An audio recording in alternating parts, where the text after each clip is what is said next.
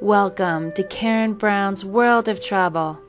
We would like to share with you one of our user discoveries in Ireland the Ballinalacken Castle Country House Hotel in the town of Doolin.